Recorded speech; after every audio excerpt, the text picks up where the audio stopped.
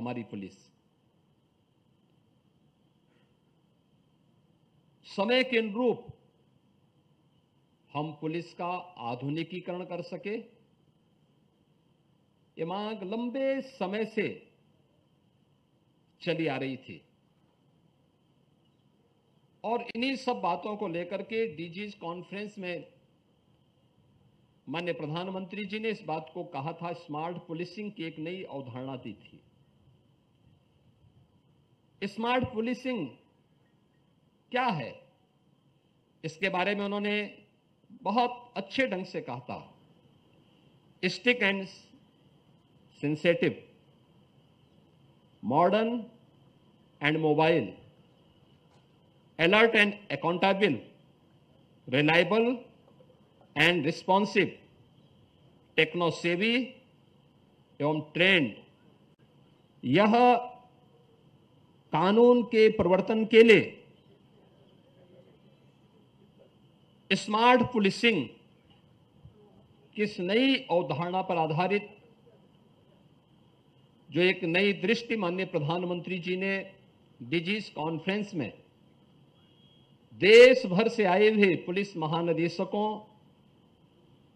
के सामने कही थी,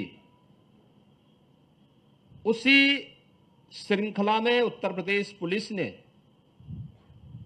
अपने यहाँ इन सभी बातों को अक्सर से उतारने का प्रयास किया है। आज हम सब इस बारे में देखते हैं कि पिछले सात वर्ष के अंदर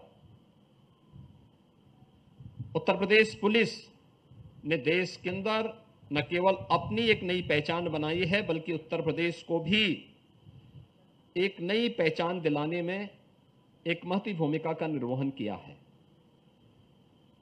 पिछले सात वर्ष के अंदर कानून का राज उत्तर प्रदेश में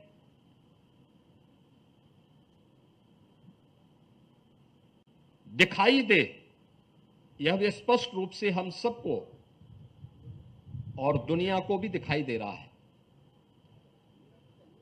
इस कानून के राज ने पुलिस को भी सम्मान दिलाया, उसको विश्वास का प्रतीक भी बनाया। लेकिन राज्य को एक नई पहचान देने देने के साथ ही निवेश और व्यापार की नई संभावनाओं, विकास और रोज़गार की एक नए युग में उत्तर प्रदेश को ले जाने का काम भी किया। मुझे याद है 2017 में जब मुझे मुख्यमंत्री पद की शपथ लेने के बाद जब मैं पहली प्रशासनिक बैठक ले रहा था, तब मैंने यूपी की अर्थव्यवस्था के बारे में जब जाना तो मुझे बताया गया कि आबादी में उत्तर प्रदेश देश का सबसे बड़ा राज्य है। लेकिन अर्थव्यवस्था में उत्तर प्रदेश देश की छठी अर्थव्यवस्था था। लेकिन जैसे जैसे हम लोगों ने कानून का राज प्रदेश के अंदर स्थापित किया, सुरक्षा का एक बेहतरीन वातावरण दिया, आज परिणाम हम सबके सामने है कि उत्तर प्रदेश देश के अंदर दूसरी अर्थव्यवस्था बनकर के उभरा है और तेज़ी के साथ देश की एक बड़ी अर्थव्यवस्था के रूप में अपने आप को स्थापित कर रहा है। आधुनिक इंफ्रास्ट्रक्चर में नए युग में प्रवेश किया है। निवेश और इन्वेस्टर समिट और ग्राउंड ब्रेकिंग सेरेमनी कैसे होने चाहिए, उसका एक उदाहरण भी उत्तर प्रदेश ने आज प्रस्तुत किया है। ये केवल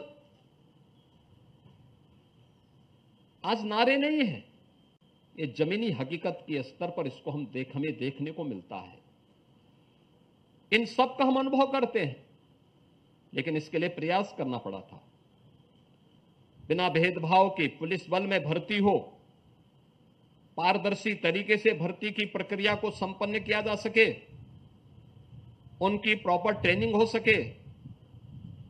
आज आप देखते होंगे किसी भी जनपद में जाइए बड़े बड़े महानगरों को छोड़ दें तो शेष अन्य सामान्य जनपदों में विकास की प्रक्रिया के साथ जुड़े हुए जनपदों में जाएँगे तो सबसे ऊँची बिल्डिंग अगर कोई होगी तो वह पुलिस लाइन के अंदर पुलिस के बन रहे आधुनिक बैरक। वह उसकी बिल्डिंग सबसे ऊँची होगी, जहाँ पर आप देख सकते हैं कि उत्तर प्रदेश पुलिस के लिए जो अवस्थापना सुविधाओं का विकास किया गया है, ट्रेनिंग की क्षमता को बढ़ाया गया है।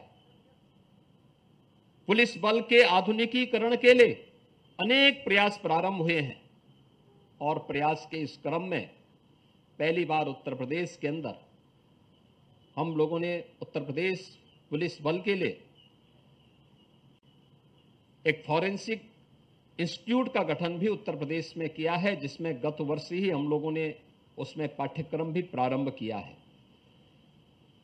उत्तर प्रदेश पुलिस की इन्हीं आवश्यकताओं को ध्यान में रखते हुए आम जन के मन में एक विश्वास पैदा हो पुलिस के पास। इसके लिए यूपी 112 को और प्रभावी बनाने के लिए जो कदम उठाए गए, इसका रिस्पांस टाइम कम हो सके। टेक्नोलॉजी का उपयोग करते हुए, सामान्य दिनों में भी, किसी पर्व और त्योहार के दिनों में भी, किसी वीवीआईपी विज़िट के दौरान भी, और अन्य महत्वपूर्ण अवसरों पर भी, पर्व और त्योहारों के अवसर पर भी हम लोगों की आवश्यकता के अनुरूप उस प्रकार की सुविधा दे सकें। इसके लिए 112 के रिस्पांस टाइम को कम करने के लिए और इसकी फ्लीट के दायरे को बढ़ाने, इसमें 112 की पीआरबी की संख्या को बढ़ाने के लिए जो प्रयास प्रारंभ हुए, आज मुझे प्रसन्नता है कि फ्लीट में हम लोगों ने तीन वर्ष का एक बड़ा कार्यक्रम तय किया है। इन